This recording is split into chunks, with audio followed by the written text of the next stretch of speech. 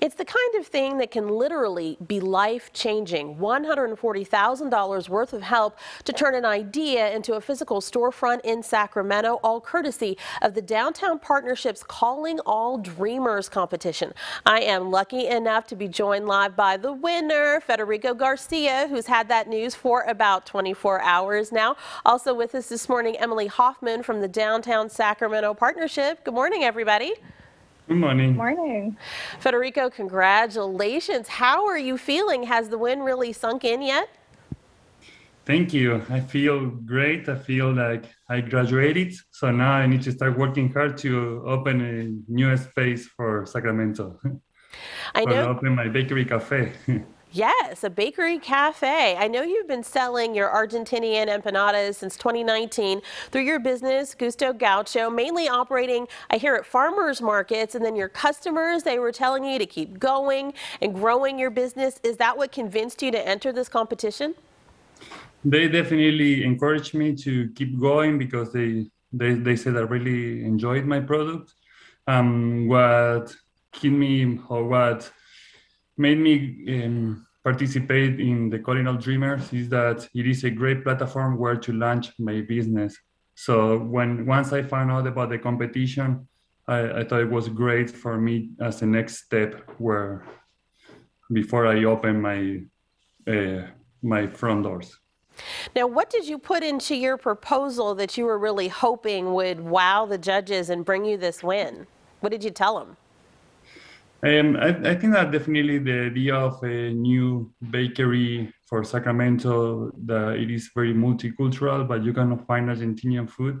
So the idea is to bring Argentinian pastries, Argentinian empanadas, mate. So I think that the new concept for um, for the judges pretty they really appeal to to that idea, and they believed in my vision.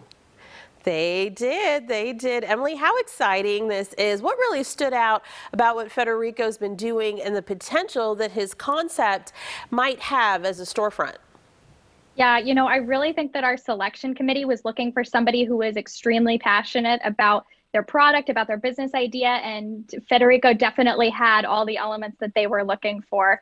Um, I think one of the other things that really stood out about him throughout the competition was the fact that he was actually um, our public vote winner. So he received the most votes when it was put out to the public and people were asked to vote for their favorite business concept.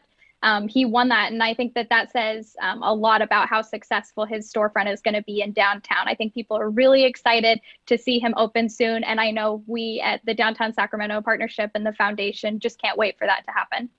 Probably a lot of those folks who'd come to see you at those farmers markets, they got online, Federico, they got online. Well, legal hmm. and marketing help are part of this win as well as $20,000 cash. And then the rest of that 140,000 is in-kind services. It's a competition that's been going for seven years. And Emily, what kind of impact has this had on downtown Sacramento in terms of jobs added and businesses opened? Yeah, so I think that one of the amazing things about the the Calling All Dreamers competition for downtown is that it doesn't just benefit the winner. We've seen almost 30 storefronts open as a result of the Calling All Dreamers competition.